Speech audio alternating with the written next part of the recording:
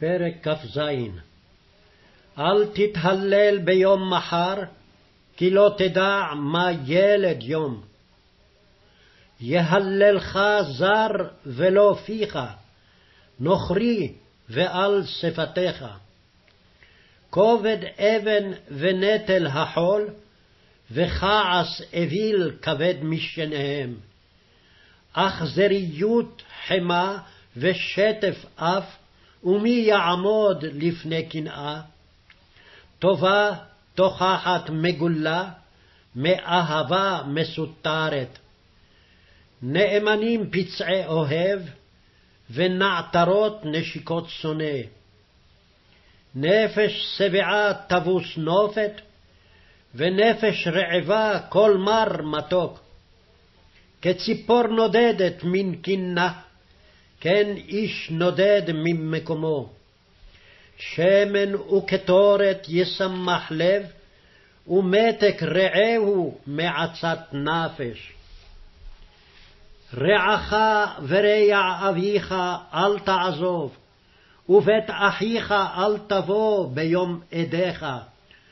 טוב שכן קרוב מאח רחוק. חכם בני ושמח לבי, ואשיבה חורפי דבר.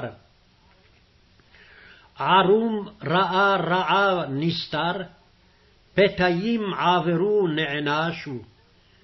קח בגדו כערב זר, ובעד נוכריה חבלהו. מברך רעהו בקול גדול בבוקר השכם, קללה תחשב לו. דלף טורד ביום סגריר, ואשת מדיינים נשתווה. צופניה צפן רוח, ושמן ימינו יקרא. ברזל בברזל יחד, ואיש יחד פני רעהו. נוצר תאנה יאכל פריה, ושומר אדוניו יכובד. כמים הפנים לפנים, כן לב האדם לאדם.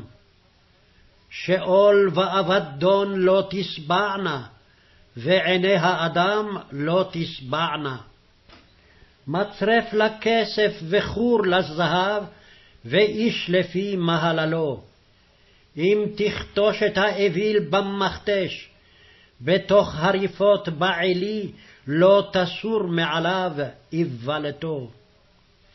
ידוע תדע פני צונך, שיט לבך לעדרים, כי לא לעולם חוסן, ואם נזר לדור ודור.